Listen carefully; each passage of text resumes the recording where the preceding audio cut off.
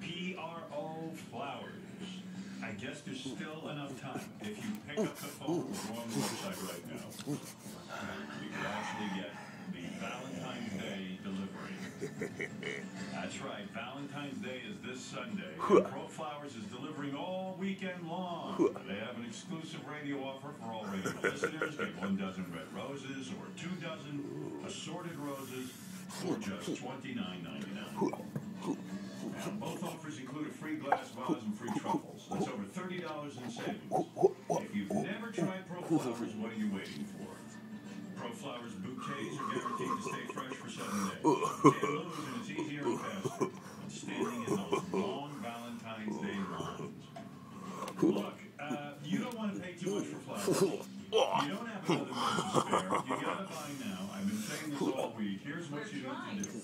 I'm trying to help you. I know this Sunday you were saying, oh, I should have listened to Howard.